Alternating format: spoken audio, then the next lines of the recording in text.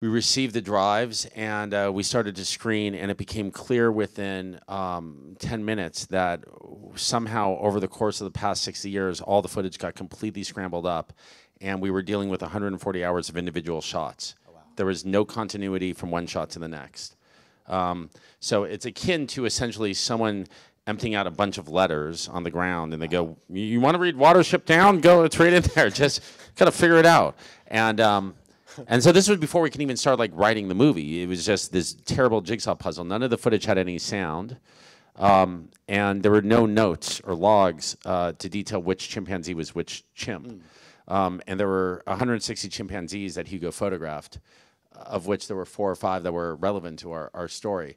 So um, j- just the the ability to to begin to write this film was a bit of a a, a, a- a big task.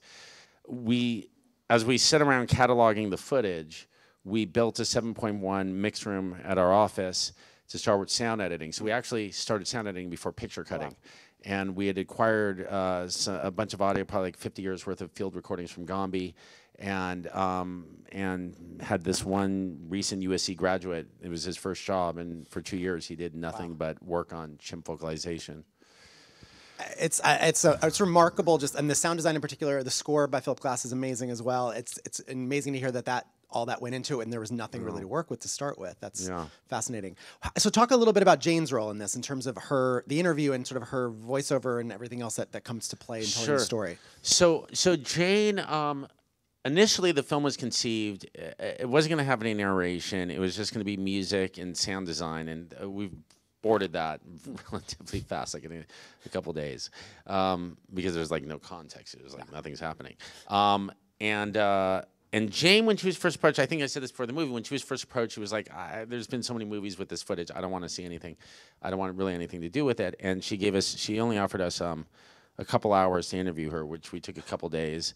Um, and that happened after I'd already edited the film. We did the interview after we cut the film. Um, well, because the the I, I try to design the shots to reflect what the person's saying, so you can only do that after the fact. A- And, so, um, so we knew exactly where Jane would come up on camera. She didn't, but we knew where she was going to come up on camera, and that allowed Ellen.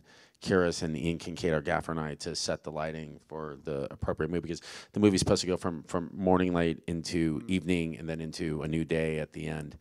Um, and uh, so um, so yeah, so Jane was. Uh, I mean, she loves the film now. She she she's she's really really pleased with it. Um, she didn't think that she didn't think there was anything left, and then you know when she watches it now, she she, she gets the the, the immersive. compo- I mean, what she her exact words are, "It's the first time uh, she's seen Gombe realized uh, as it is in her mind." Um, some of that has to do with I think some of the magical realism that isn't literal at all. It's like the color grading and the um, I don't know if anyone noticed, but the chimpanzees kind of move in sync with the music, and they bark. Bark. I don't know. if Bark's the right word. They bark at, at the same pitch as the music. Often, um, there was a concerted effort after Philip gave us his final recordings. We went back and re-edited the entire frame, every single edit of the sh- the film, to synchronize with both Philip's music and then to have all the animal movements um, synchronized as well to try to capture this sort of magic of Gombe as it existed in Jane's uh, eyes. The the um, the colors in Gombe are predominantly brown, a lot of browns and green, and it just it's not when you read Jane's book in the Shadow of Man, you're like, this is not what it looks like, you know. And so um, the color paletting and the color grading, which was 250 hours of color correct. Um, with a lot of contrast grading, most of that was contrast grading, uh, was all done to again enhance that sort of rainbow-esque sort of view of Gombe someone was just asking about the insects, and I was like, yeah, well, part of that was the insects. Had, they brought in so much color. There's a s several other sort of metaphors at play that may work or may not, but uh, um, it was important for us to, to, you know, like all my films, I try to capture the experience through the subject's point of view um, through whatever means are available to us. Right. And, and can we talk a little bit about? So you, you said that at the start, but in some ways you, in many ways, you're adapting her book. So talk about sort of the writing of the film and sort of how you how you uh, how you were able to do that with the book with the footage that you have. Yeah, so every movie I do, it starts with the same process, which is when I get the assignment, I read uh, uh, whatever books are on the subject. Hopefully, if there's primary sources. In the case of Jane, she's a prolific writer, so there were dozens, about a dozen books to read. Um, so I have a, a pretty deep knowledge of the subject, which you have to have before you can screen.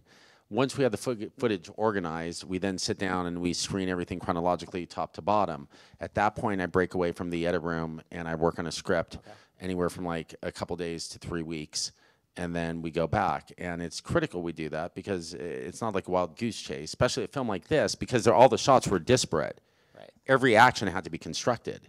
So, uh, you know, when when when the, the even like something like um, one of my favorite moments of the film, and I, I got to give Joe Beshenkovsky an incredible amount of credit for the sequence because it, it, it's to me his masterpiece of this film. But the when Jane gets invited to the chimp garden is my the little as I like to call it when she's like chasing after David Greybeard in the jungle and then she pulls back and all the chimps are like greeting her. If you watch, if you ever see the film again, it literally looks like it's an action sequence in a Disney film. That it's following just traditional screen direction. Ch chimp leaves the frame, Jane enters that same shot, back and forth, back and forth all those shots were shot over the course of 140 hours. There was never intended to ever be designed to play that way. So that for him to remember exactly those movements across 140 hours is is, is, is, is, is, is almost remarkable. And there's a thing with someone said to me like, "Are the chimps? Where'd you get those tamed chimps? because they seem so tame around the cameras."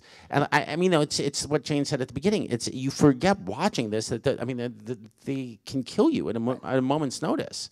So I mean, just the the fact this exists, and and that he the, the, just the fact that he captured it on 60 millimeter, which mm-hmm. was so difficult back then to to do what he did. It's it's really is kind of miraculous. Like right. what Hugo achieved on film is almost as amazing as what Jane did in her research. Also, uh, there's no stock footage in this film. Every shot you saw was Hugo van Lawick. Hmm. Everything wow. in the Serengeti was Hugo. There's not one image in this film that wasn't Hugo other than the obvious stuff that Ellen Kuras shot.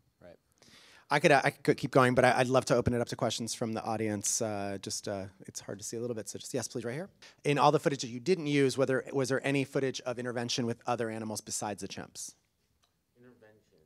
Uh, in terms of interaction, I guess, interaction with any other animals. Yeah, well, they made Hugo and Jay made a series of films um, in the '70s uh, for Metromedia. One of which was called Wild Dogs. One was called Baboons of Gombe. So there were there were these other films. They were like Swiss Family Robinson. They all starred Grub. That's for that footage of Grub like driving around the vehicle. like there's all these films. They were like literally the first reality family in a way. Um, they're kind of amazing. They're very stagey, you know, some of the B-roll stuff in them, but they're they were uh, good assets. Uh, right here, you. please.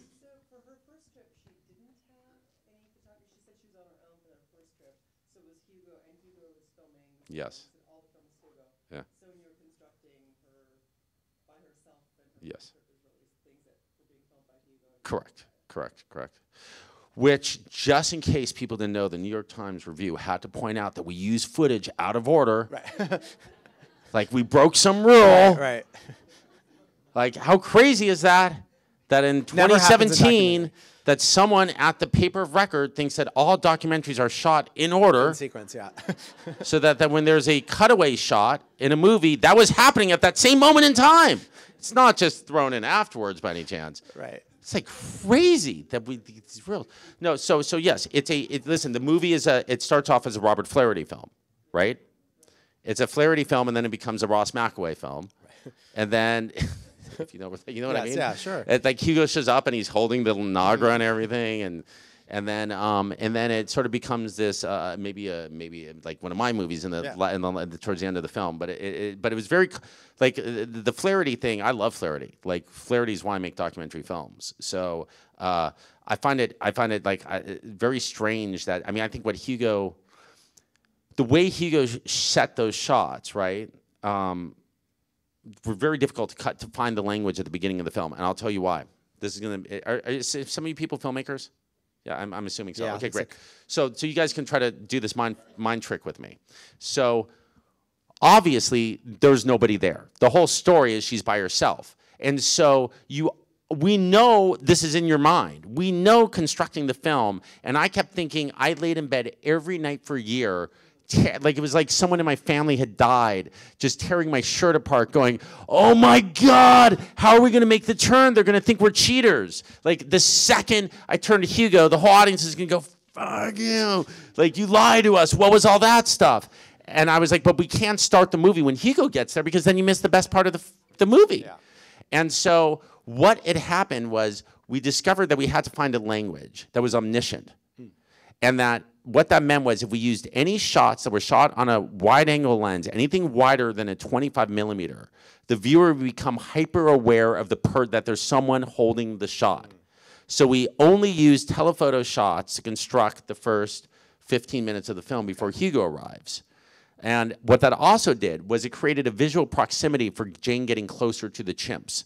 So even when she gets invited to Chimpland the first time and it cuts to a scene of them grooming, all those grooming shots are telephoto lenses. So again, you're, we're proximating her closeness to the, an, to the animals. And then when Hugo arrives, we let loose. And now you get all the perspective stuff and he's shooting wide angles and we're allowing camera movement to come into play and et cetera, et cetera. But it was a very, it seems like a really simple thing, but the language, because also a lot of the stuff in the beginning was very stagey looking, you know, which, uh, you know, is, I mean, it, it, it, it was so difficult to get that stuff of Jane not to look, because it was, Right, that's how it was right. shot. It was Sure. shot to be like, Jane looks left. Right. Jane looks right. I mean, th- th- it was, so we, we took footage that was shot for a different type of movie Exactly. and tried to use it to make this type of movie. right. Yeah. We have time for one last question. I saw you first in the white. Yep. the parts of the film where it sounds like she's, the voiceover parts where she's narrating what happened to her, so was that from the interview or was she reading Terrific. Yeah. Um, before we conclude, because I know we're about to conclude, I, I would be remiss if I didn't say Jane is playing nationwide right now. It's playing all over New York City, 10 showings a day at the Sunshine. If you have friends you want to take them to this weekend, send them, please. Support documentaries in theaters, whether it's my film or someone else's film. We need the support of people. Uh, some of us, we, we make these for this purpose, for movie theaters. I, I, I don't, I, I think there's something called TV documentary and there's a theatrical documentary. And and I would not have spent two years on sound for television. So, so I, I, I really excited when people can see this in a, in a movie theater. Um, I'm so sorry. So to get to your question, which yes, the voiceover. Okay, very good. So, uh, so originally I wanted this to have no just music and, and ambiance. And so I was uh, just as a guide track, I, I discovered that Jane did these book on tapes. And she did a book on tape for a book she did called Reason for Hope, which is uh her guide to spirituality. And so we just started using it for temp, just mm. temp shit to go in there. And then I started really dig it. And then I was like, then then I'll tell you what happened, right? So the movie is is is Hugo's art, his cinematography. Jane is also an artist. She's a writer. She's she's an incredibly prolific writer. It's one of her first loves. Beyond that, she's an orator. She travels the world. She's one of the best speakers in the in the, in the, in the, in the, in the, on the planet. And so when I found this book on tape, to me, that is the most pure form of expression from Jane. That is a part. That is her art. You see. Now, if I asked her and I said, "Can you describe to me your first day walking into the jungle?" Okay, you asked me this. Yeah, what was your first time? I mean, you're going to get a pedestrian answer because we're having conversation. So it was like, well, I remember the first day. It was like it was sunny out, and and we didn't see any chimps for a while. Um, but then after a while, yeah, okay, right? Instead, now we get the rolling hills, the little streams, the birds, the insects. I mean, I would have had her arrested if she talked like that during an interview. I thought she was a Looney Tune. Um, but it it's a great tool to have. I did the same thing in the Kid Stays in picture with Bob Evans' book on tape, and with the if you saw the film Montage of Heck, the Kurt Cobain film, uh, I was doing the same thing, trying to use all of his primary sources to tell the story. So.